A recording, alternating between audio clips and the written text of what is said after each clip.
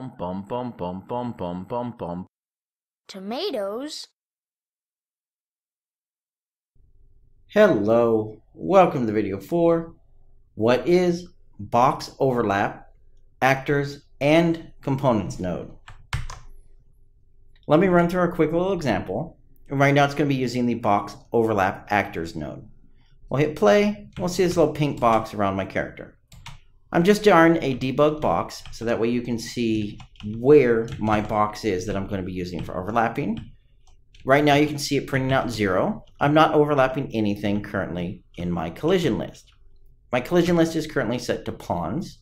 So if I go near these enemies and I overlap my box with their collision, you'll notice it now shows one. And you can see it going back and forth. Now my box isn't big enough to encompass both of these. That's why you're only seeing one. But let's go ahead and check out the node and the options. By default, the box overlap actors is going to come in with a few inputs. We have a vector location. This is where our box is going to be drawn at. We have the box extent, basically the size of our box for X, Y, and Z. And then we have three things, one of which is not optional and the other two are. Let me unhook this and compile it, and we'll notice we get an error. The object types pin is not optional. We need some form of an object type or a collision type in order for us to know what we're going to be checking the overlap for.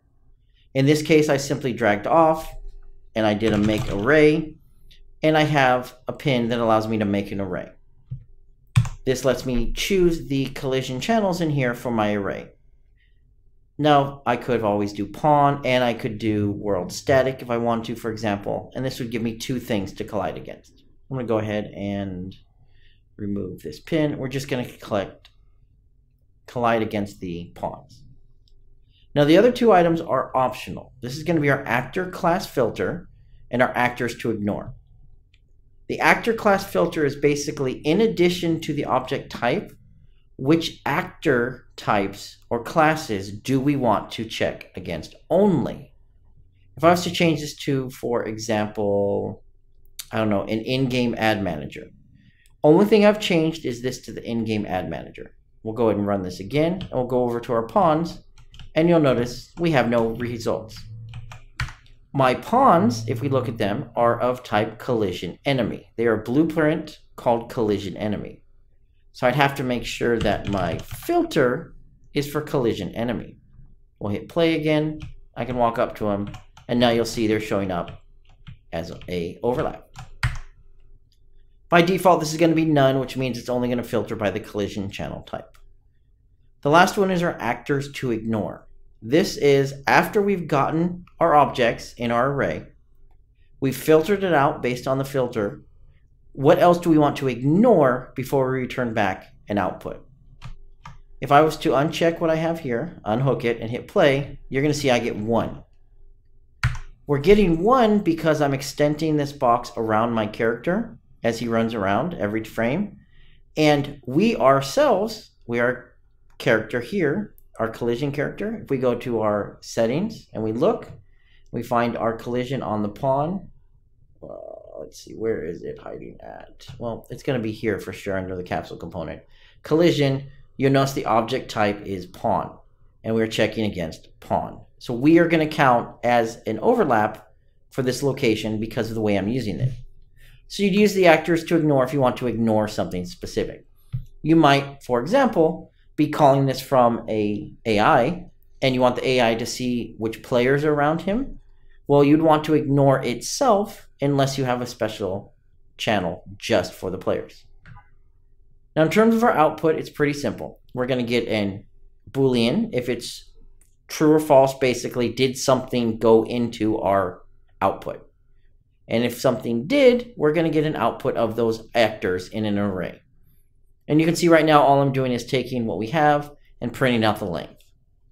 So that's why when I run this and I walk up to one of these, you'll see we're overlapping. And I can show you we're overlapping by doing a show collision. And you'll see the collision volumes on each of these characters. The little capsule right there. And you'll see when I overlap, it counts it as an overlap. And that's why in this case, you can see I can manage to go right in between the two of them without overlapping. If I was to extend this, let's say we do our box extent to something like 200. Let me go ahead and adjust my debug here. That way we can visually see my change. And we hit play. Now you notice I have a much larger box, and you'll notice I can actually encompass both of them. And we'll see 2 as my output result. Now that covers the box overlap actors. The other option is the box overlap components.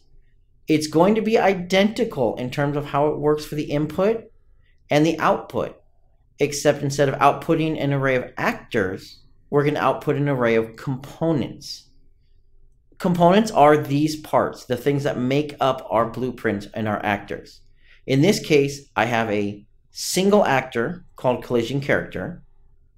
Now, if we go ahead and hook up our overlap components thing and we run this, we'll go ahead and look at this and we'll go over here. You'll notice it now says 2. It says 2 because inside of my enemy, let's pull up our enemy, we have a capsule component which has a collision of object type pawn, and we have a mesh which has a collision component of object type pawn. So we have two different components inside this actor, this blueprint, the capsule component and the mesh component that are both returning back the pawn for the object type. Remember, we're checking against our pawn, and that is why we get 2 as our result. And I can show you if I go ahead and pause this. We'll go ahead and uh, let's do an if here because we only want this to fire off if we have something actually colliding. Because for debug purposes, if not, it's going to just stop immediately. We'll hit play. We'll go back over here and we'll now see our output here. And if we check the array, you'll see that we have two outputs. We're going to get a, right now it's just the collision cylinder. Let's run this again and resume and let's check our output. And we're getting just the collision cylinder. Now we're only getting the collision cylinder. Let's go ahead and pause this. And let's look at our, oops, go back to our resume and look at our output and you'll see it's a one. We'll do show collision again. Uh, I need to actually be in the editor. One second, here we go. Show collision. And you'll notice if we look at this, I'm not actually intersecting with the mesh at all. I'm just intersecting with the collision volume. Now, if I get close enough, now we'll see it actually encompasses the mesh and the collision volume. We can go back to here. We can go and debug this again, check our output, and now you can see we have two of them. One is the character mesh right here. The other one is going to be our collision cylinder which is right here. So that is how these nodes work. They are useful if you need to basically find what is encompassing, not encompassing, you need to find what's inside of something. In this case, our box. A good example might be you want to see what is around you. You could cast out from your player or your enemy. You could do a overlap and you could get an output result of everything that's around you. You can filter it out by your type for example, you are a turn based game and you want to see which areas are around you that you can move to. Do your overlap actors, do your extent, which is your movement range, and your output will be any items within that range for possible movement purposes. And that's it. That's going to wrap up our nodes. Remember, these are the same. They just simply output either the actor itself or the individual components that you are overlapping. They take in the location for the center of your box, the extent of the box for X, Y, and Z, object types. This is required. This is which channel for collision it's going to collide against. A filter, if you want to apply that optionally. So things that will only be filtered. So things that will only show up if they're on here.